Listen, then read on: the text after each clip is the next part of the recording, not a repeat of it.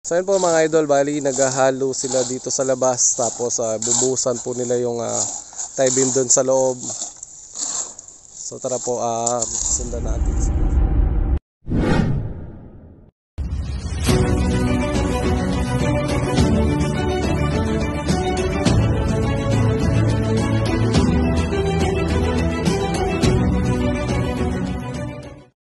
mga idol, update tayo ngayon sa ginagawa dito sa may plasang luma. Bailey po, ah, tinatasan na nila yung bandaron kasi nga po na ah, lagyan na na ng header nila.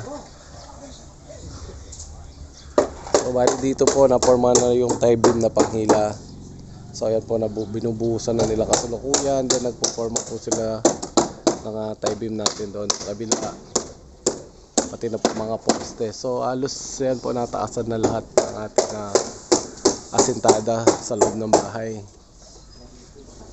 So ang iba po niyan na yung mga kalpentero natin tsaka yung ah, ating mason isa popormahan na po nila yung ating mga poste para po at least sa ma magkaroon na sila ng ah, connection sa isa't isa at magkakahilay-hilay na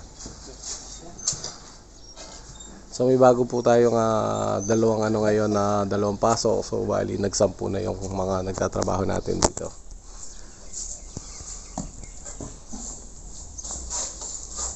So yun po si Michael tsaka si Tagalog sila yung nag-aasinta. Si Kune po ay si Erok po tsaka yung ah, bago nating ah, kalpentero sila po yung nagpo-forma.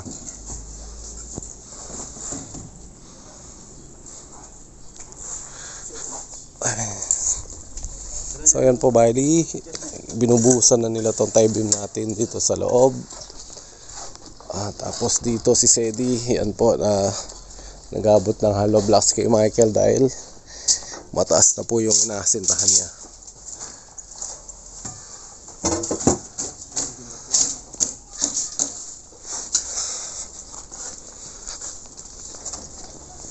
Bali dito sa kabila po medyo ah, hindi muna hinahakot yung tambak natin dahil tumutulong sila sa paghalo yung ah, dalawang naghahakot natin sa pangtambak.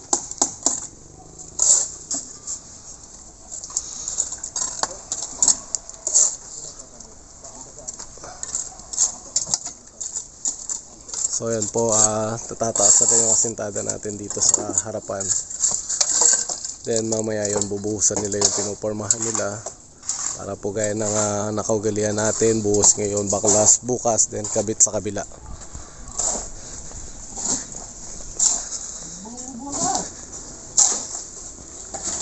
Kapali bubulungin eh. So ayan po hanggang dito mo po muna yung update natin sa ginagawa natin dito.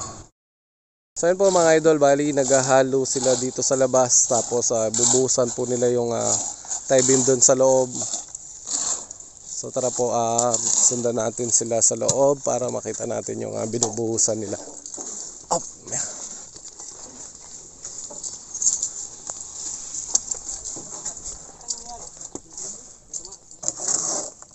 And you know.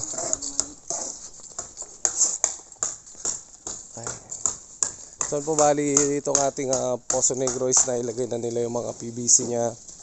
Then uh, siguro bukas po ah, ta- tatapalan na natin or tatakpan na natin siya para po temporarily may magamit yung mga nagtatrabaho natin.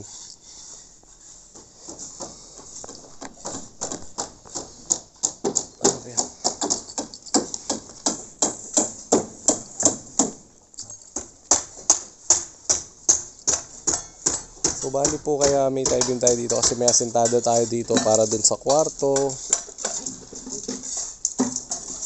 So dyan, kumbaga sa dyan na lang po papatong yung ating ah, asintada. Ito po, meron na tayong nakabaon na pang dowel. So yun nga lang po, masyado mainit. So target po natin by next week, uh, pag napaikutan na nila ng ah, roofing biga po ito, it's makakapag ano na tayo ng bubong.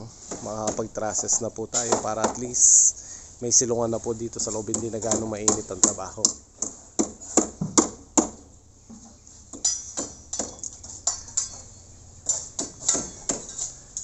So bali matagal na gagawin po natin dito niyan is yung pagtatambak. Siyempre po hindi po muna natin yan pwedeng uh, puwersahin.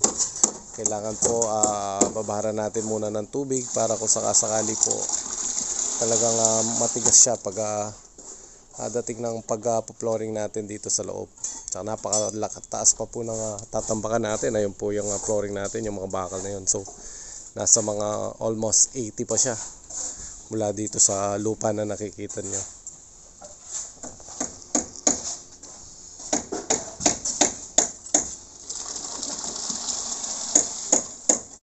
So po mga idol, patapos na naman yung araw ng lunes at ayun po malapit na naman po tayong ah, umuwi. So, gaya po na nakaubilian, maraming maraming salamat po sa inyo sa patuloy na pagsuporta dito sa amin. Sana po wag kayong magsasawa. Bago tayo umuwi mga idol, so bubuhusan na nila yung poste tsaka yung pinaka tie beam na ah, ginawa nilang pang header dito. At least po bukas kung sakasakali man pagkatapos sa ano po may, may ah, babaklasin na naman sila then ililipat sa iyo sa kabila.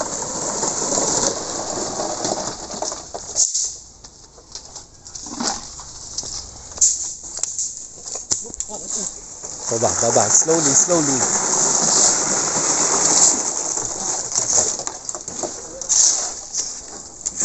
So yan po bali mula dito sa ah, biga natin dito sa harap po is ah, magtataas pa tayo ng ah, 280 or something po kasi nasa 420 po kasi dito dun sa kabila 380 dahil nakadrop po yung bubong natin dito sa likod so bali bukas niyan po bali, ah, ito naman ang ah, kanilang uh, popormahan.